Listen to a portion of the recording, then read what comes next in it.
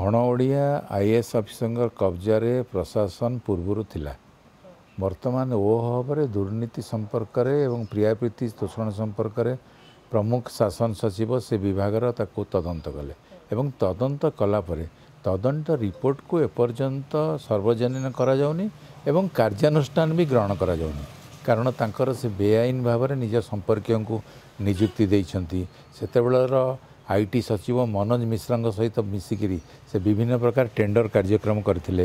ତାଙ୍କ ନାଁରେ ଗୁରୁତର ଅଭିଯୋଗ ଅଛି ଏବଂ ସରକାରୀ ଅର୍ଥର ସେ ଆତ୍ମସାତ ବି କରିଛନ୍ତି।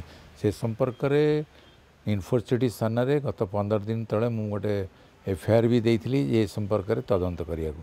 ତାପରେ ପ୍ରମୁଖ ସଚିବ ଆସିକିରି ତଦନ୍ତ କଲେ। କିନ୍ତୁ ଏପର୍ଯ୍ୟନ୍ତ ଯେହେତୁ କାର୍ଯ୍ୟାନୁଷ୍ଠାନ ହେଉନି ଗତକାଲି ମୁଖ୍ୟମନ୍ତ୍ରୀଙ୍କୁ ଏକ ପତ୍ର ଲେଖିଛି ଯେ ତୁରନ୍ତ କାର୍ଯ୍ୟାନୁଷ୍ଠାନ ଗ୍ରହଣ କରାଯାଉ।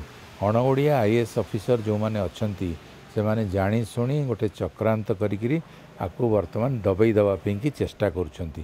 ଗୋଟେ ଲୋକ ସରକାରୀ ଟଙ୍କାର ଆତ୍ମସାତ କରିଛି ନିଜର ଆତ୍ମୀୟକୁ ସେଠି ବିଭିନ୍ନ ପୋଷ୍ଟରେ ଦେଇଛି ଏବଂ ତା ଛଡ଼ା ବିଭିନ୍ନ ଜାଗାରେ ନିଜ ସଂଗଠନ ମାଧ୍ୟମରେ କଣ୍ଟ୍ରାକ୍ଟରି କାମ କରିଛି। ତା'ର ପୁରାପୁରି ପ୍ରମାଣ ଅଛି।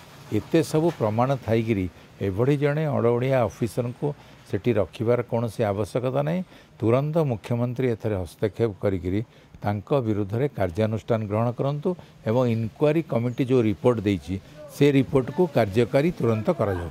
ମୁଖ୍ୟ କଥା ହେଉଛି ତାଙ୍କ ନାଁରେ ଯେହେତୁ ସରକାରୀ ଅର୍ଥକୁ ସେ ଆତ୍ମସାତ କରିଛନ୍ତି ନିଜର ସମ୍ପର୍କୀୟଙ୍କୁ ନିଯୁକ୍ତି ଦେଇଛନ୍ତି।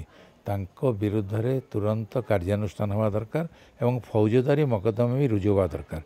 ଏବଂ ଯେଉଁଭଳି ଭାବରେ ଶାସନ ସଚିବ ତଦନ୍ତ କରିଛନ୍ତି ସେ ତଦନ୍ତ ରିପୋର୍ଟ ଅନୁସାରେ ତାଙ୍କ ବିରୁଦ୍ଧରେ କାର୍ଯ୍ୟାନୁଷ୍ଠାନର ତୁରନ୍ତ ଆବଶ୍ୟକତା ରହିଛି।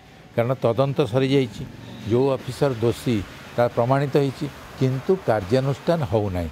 କାରଣ କିଛି ଅଣଓଡ଼ିଆ ଅଫିସର ବର୍ତ୍ତମାନ ବି ଚାହୁଁଛନ୍ତି ଗତ ସରକାରରେ ଯେଉଁ ଦୁର୍ନୀତି ହେଇଥିଲା ସେ ଦୁର୍ନୀତିକୁ ଘଣ୍ଟ ଘୋଡ଼େଇ ରଖିବା ପାଇଁ। ସେଥିପାଇଁ ମୁଖ୍ୟମନ୍ତ୍ରୀଙ୍କ ନିକଟରେ ଦାବି କରାଯାଇଛି ତୁରନ୍ତ ହସ୍ତକ୍ଷେପ କରିକିରି ଏଭଳି ଅଣଓଡ଼ିଆ ଅଫିସର ଯେଉଁମାନେ ଓଡ଼ିଶାର ସ୍ୱାର୍ଥ କଥା ଦୃଷ୍ଟି ଦିଅନ୍ତିନି ସେମାନଙ୍କ ବିରୁଦ୍ଧରେ ତୁରନ୍ତ କାର୍ଯ୍ୟାନୁଷ୍ଠାନ ଗ୍ରହଣ କରାଯାଉ। ଯଦି ଆପଣଙ୍କୁ ଆମ ଭିଡ଼ିଓଟି ଭଲ ଲାଗିଲା ତେବେ ଆମ ଚ୍ୟାନେଲକୁ ଲାଇକ୍ ସେୟାର ଓ ସବସ୍କ୍ରାଇବ୍ କରିବାକୁ ଜମା ବି ଭୁଲନ୍ତୁ ନାହିଁ।